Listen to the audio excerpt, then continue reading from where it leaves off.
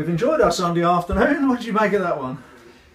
Yeah, it's a good good performance. I think um, after uh, after Tuesday's um, display, you know, we we wanted to um, try and have a bigger threat going forward. We decided that we've played um, our best football and created our most chances, scored our most goals this season by playing 4-4-2. So we opted to go back to that formation rather than the three-man midfield, and unfortunately Peter Clarke had to had to miss out. But you know, I think it it, it uh, proved to be the right decision, and I thought um, it was a really really good performance both in possession and out of possession. The, the, you know, the players worked extremely hard, very disciplined. Certainly when we didn't have the ball, um, those two banks worked exceptionally well. Um, and then in possession, I felt that you know our link play from the front was better. Going, you know, we, we, we played through the pitch quicker. We, we got it into wide areas.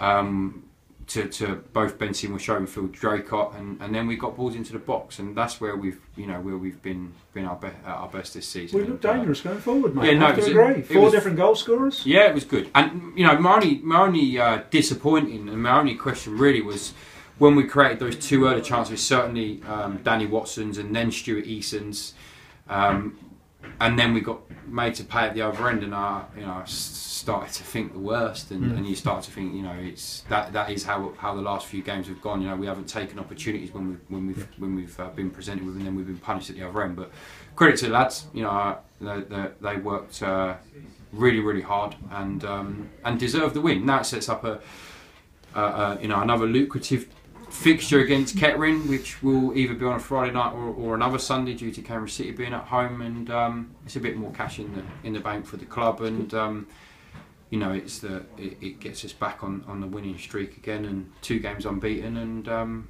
you know looking forward to Wednesday night at Aylesbury United. Now, mm, yep, thank you very much. Sir. Thank you. Cheers, mate.